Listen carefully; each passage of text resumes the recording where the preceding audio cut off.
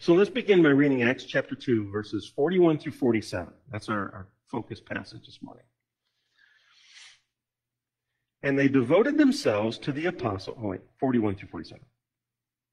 So those who received his word were baptized, and there were added that day about 3,000 souls. And they devoted themselves to the apostles' teaching and the fellowship, to the breaking of bread and the prayers. And awe came upon every soul, and many wonders and signs were being done through the apostles. And all who believed were together and had all things in common. And they were selling their possessions and belongings and distributing the proceeds to all as they had need. And day by day, attending the temple, together and breaking bread in their homes, they received their food with glad and generous hearts. Praise God and having favor with all the people. And the Lord added to their number day by day those who were being saved. So, the Holy Spirit's been poured out, right? We saw that a couple weeks ago. They heard the sermon that the Holy Spirit had through the Apostle Peter.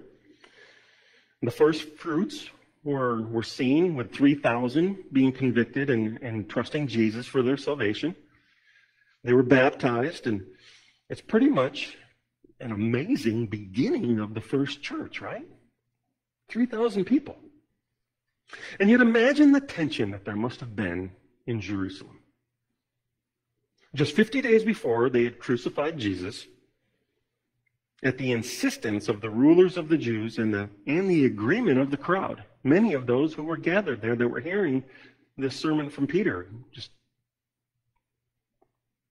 now, there's this group of 3,000 who have accepted Jesus as their Messiah and Savior consisting mostly of those who had journeyed from outside of Jerusalem or even outside of Israel.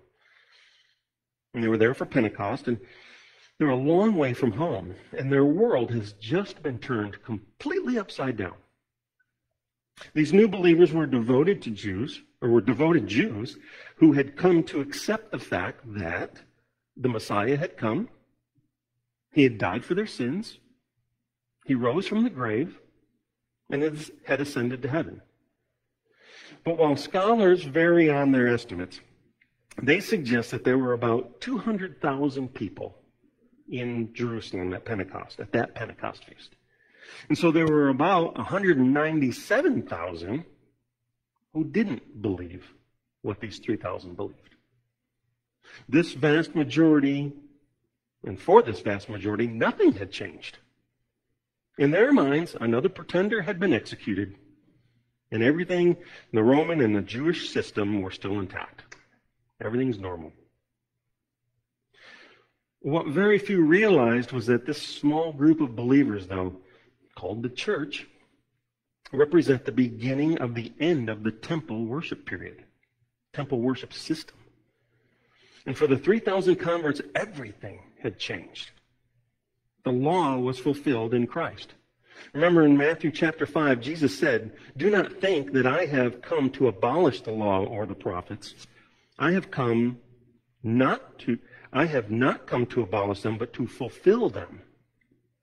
And suddenly, they're no longer trying to please God by obedience to the letter of the law, but instead they've, they've had the spirit of the law written on their hearts, just, just as God said would happen through the prophet Jeremiah. In Jeremiah 31, 33, for, for this is the covenant that I will make with the house of Israel after those days, declares the Lord. I will put my law within them, and I will write it on their hearts. And they will be, and I will be their God, and they shall be my people.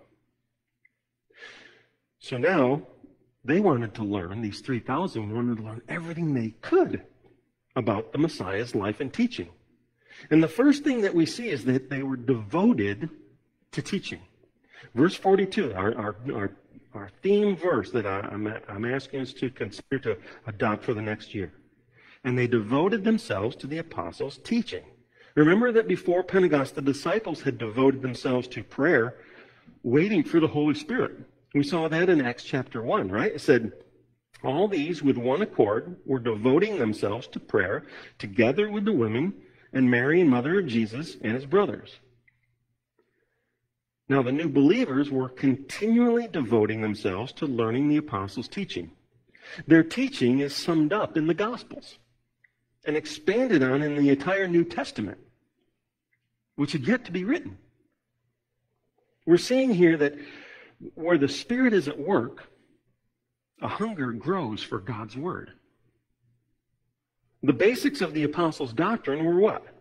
Believe in God, repentance, accept the Lord Jesus, baptism, yield to the Holy Spirit, and grow in Christ likeness.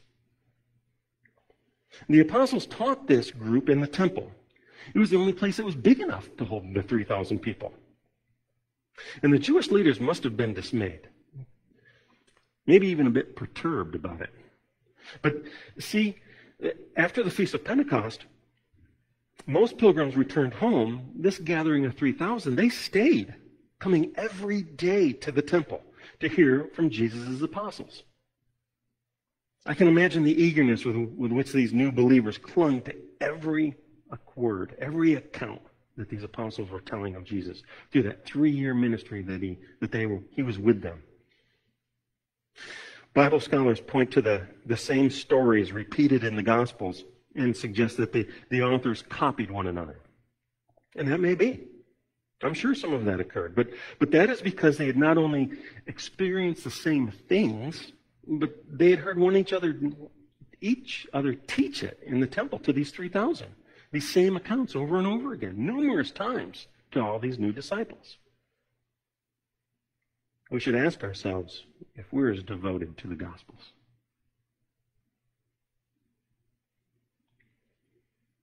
We should memorize, should be memorizing and, and meditating on the Gospels. If I had to live with just one book in the New Testament, I probably would choose the Gospel of John. I don't know what book you may have chosen. It's all different for everybody.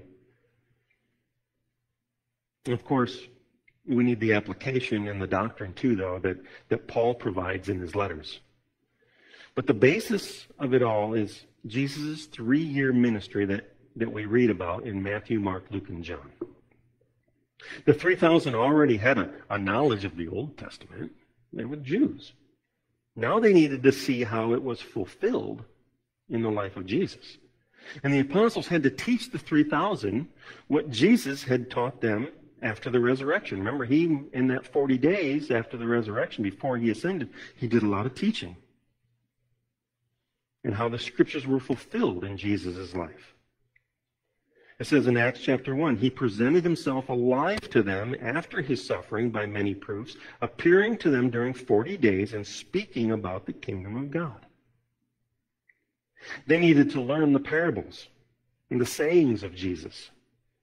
But most of all, they needed to understand how his death and, and atonement for their sins so that they could be vessels that the Holy Spirit can occupy.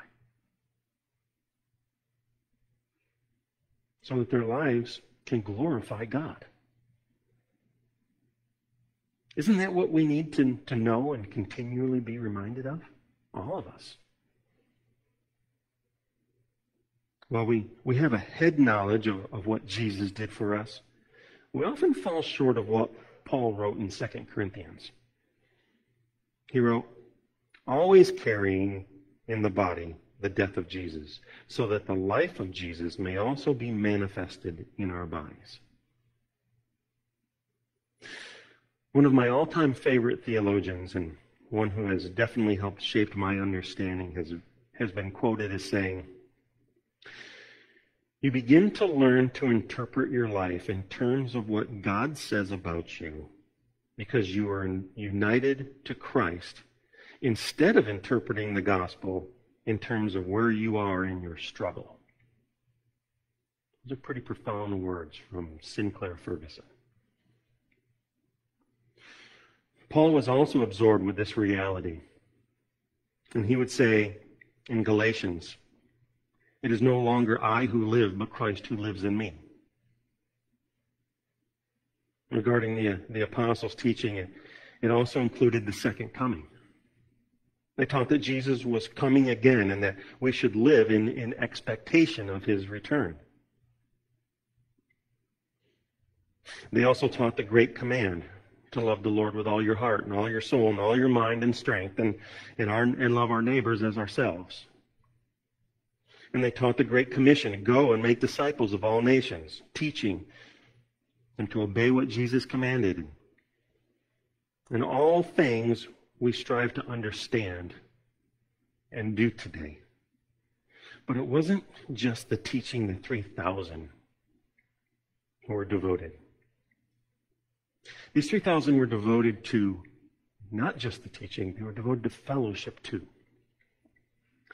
Our Bible study groups that we keep coming back to, they teach the basics of this verse.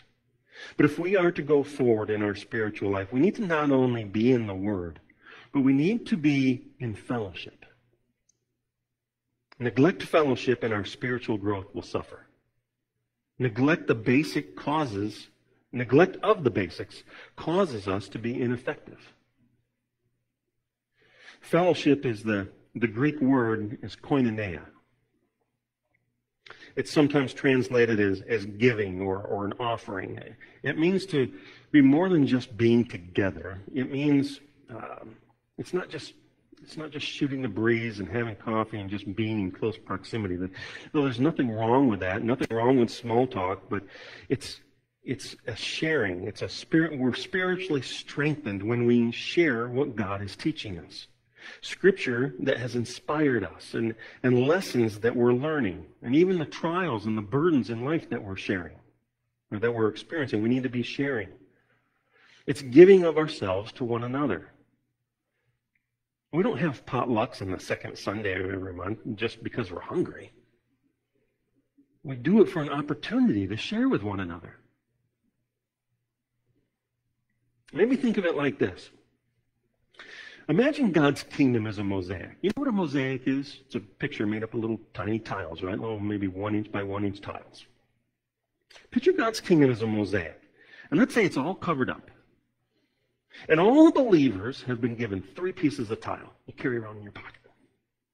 And as you fellowship with other believers, you get to share your three pieces of tile.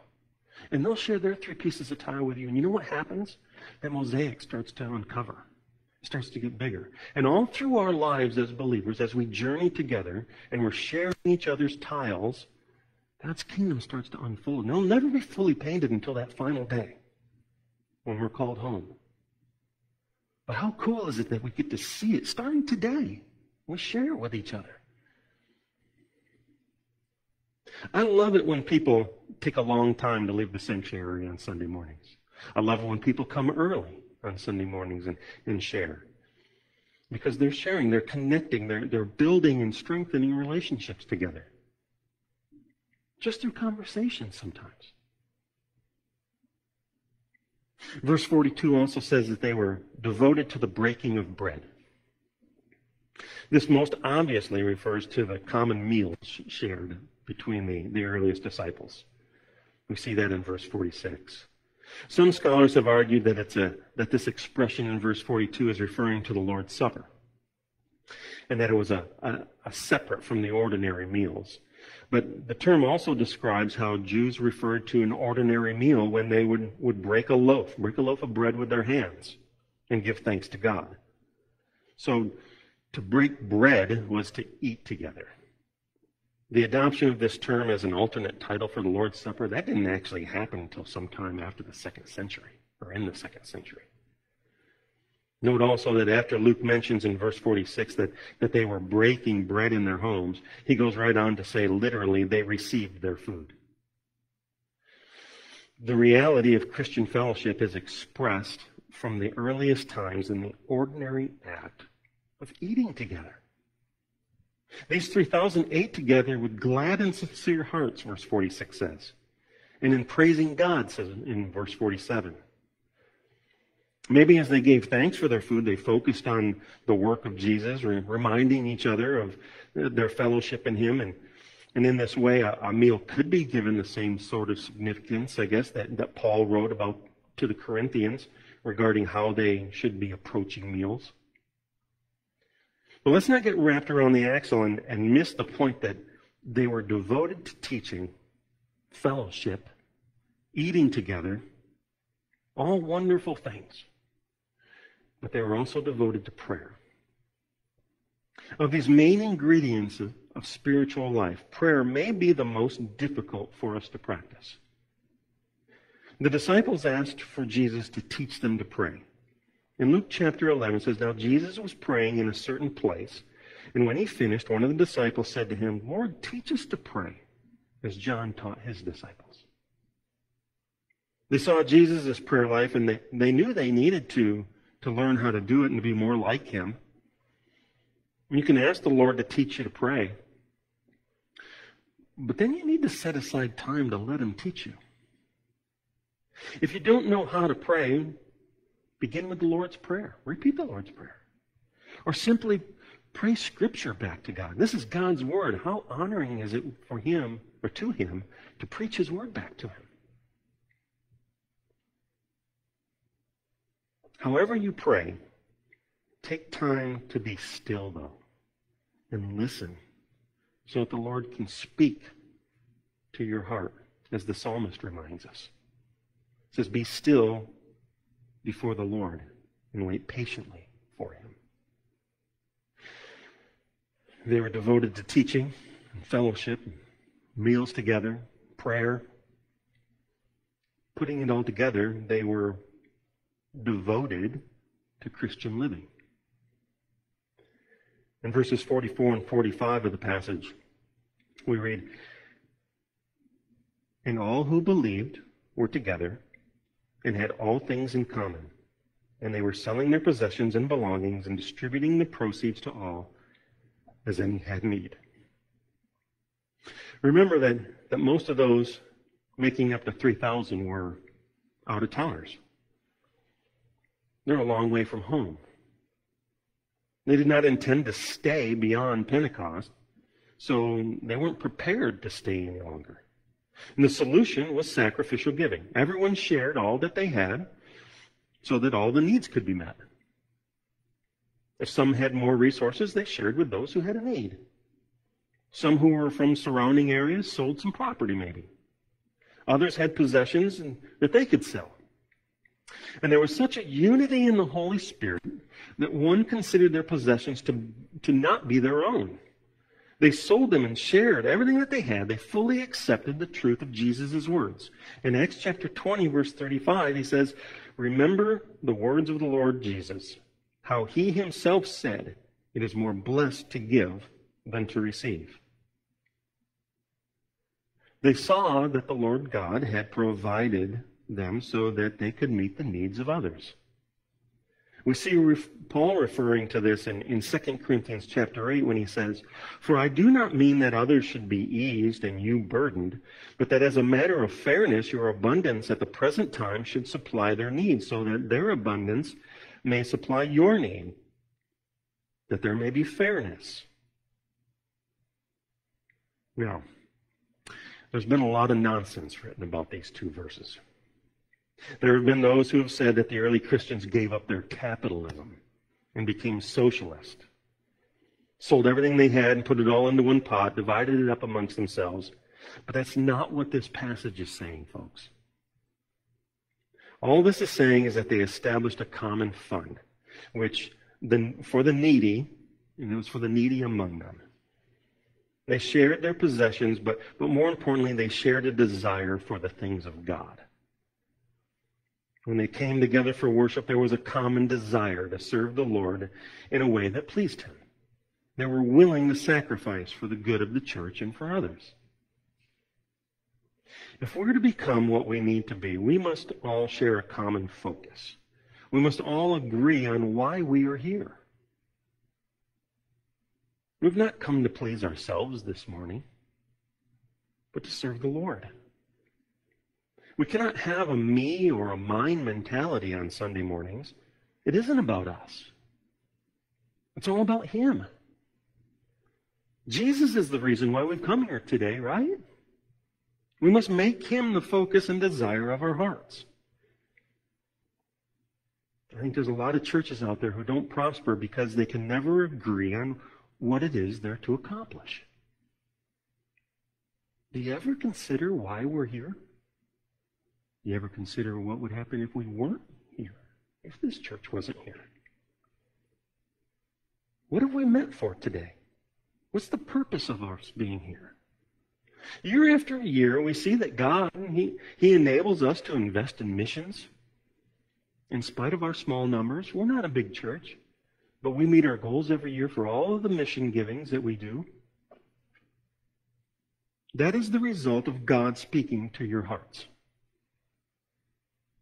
We respond to God's leading, not to my pleading,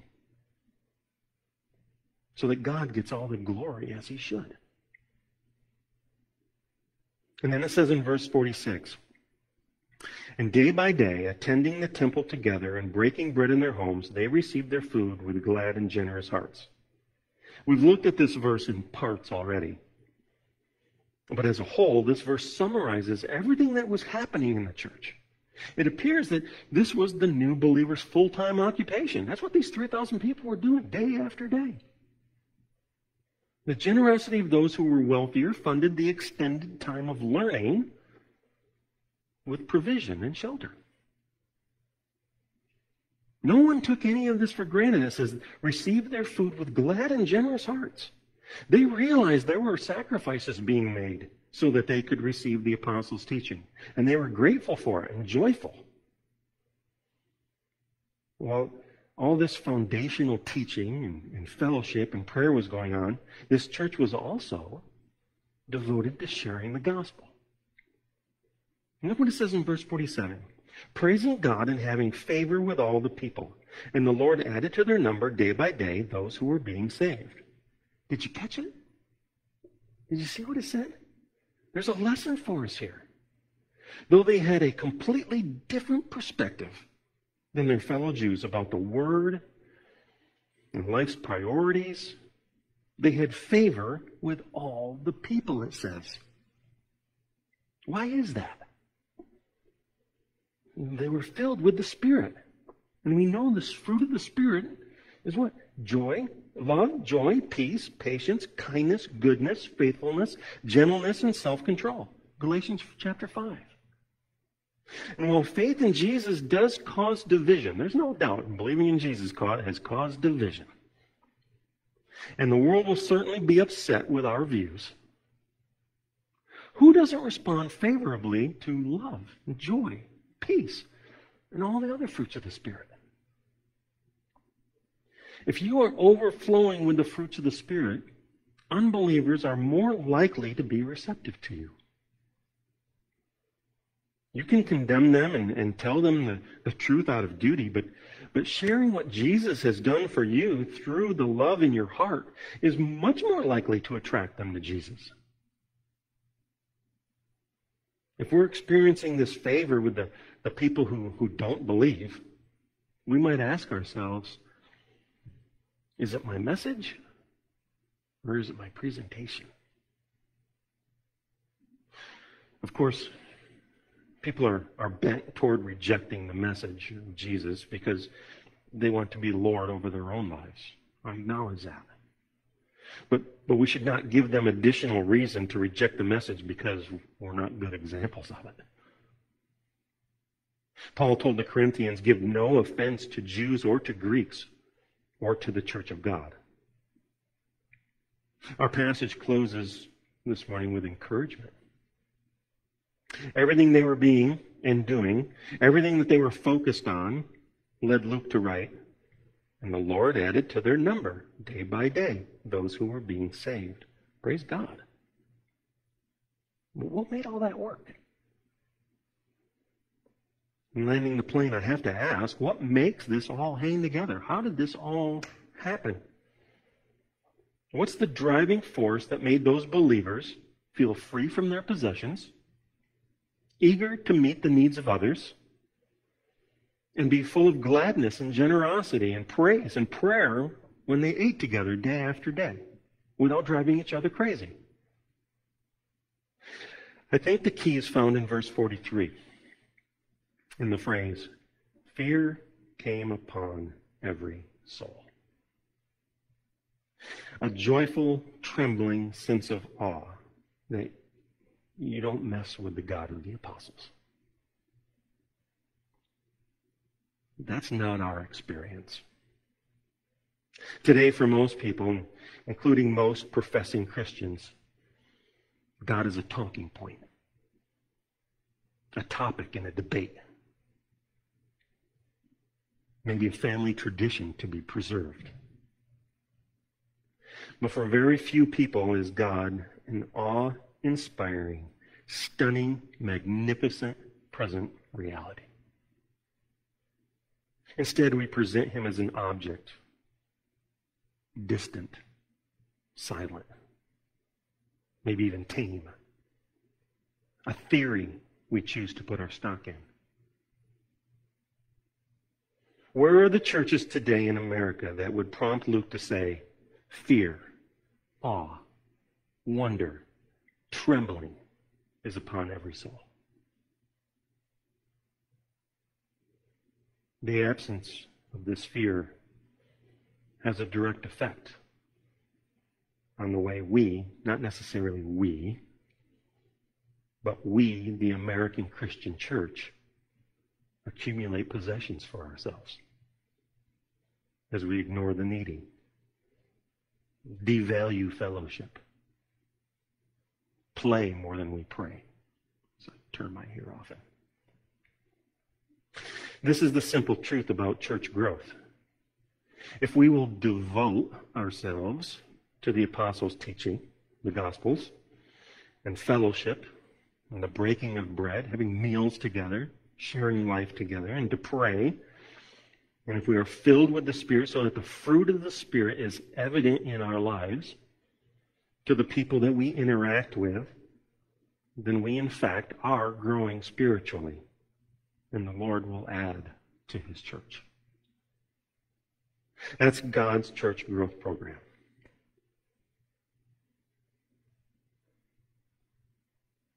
He will bring new believers because we will have become a place where they can grow in Christ. So, how about it, church? Will you join me in devoting yourselves to, to the Gospels, to fellowship, to getting to know one another over a meal, to pray? Will you devote to an intimacy with God so that the fruits of the Spirit flow from your lives? Will you let the Holy Spirit lead you? And I'm not saying that we're not doing any of this today. We are. I think we're doing a lot of these things. I really do.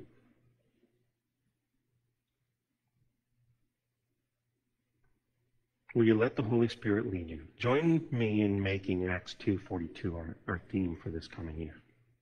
And they devoted themselves to the apostles' teaching and the fellowship, to the breaking of bread and the prayers. I firmly believe that we, we, this time this church, will be blessed beyond measure if we yield our spirits fully to the Holy Spirit and wholeheartedly commit to the Word, fellowship, and prayer. Let's go to the Lord in prayer. Lord Jesus, you, you are our Prince of Peace. And you prayed for the unity in the body of Christ, that we may be united in love, just as you are united with the Father in love. We ask the Spirit, give us the desire to love one another as you loved us. And let the world know that we are your, your disciples by our love for one another. Give us a hunger to live in union with each other. And may we be united as one in the bond of peace and fellowship in the Spirit. This we ask in Jesus' name. Oh, Amen.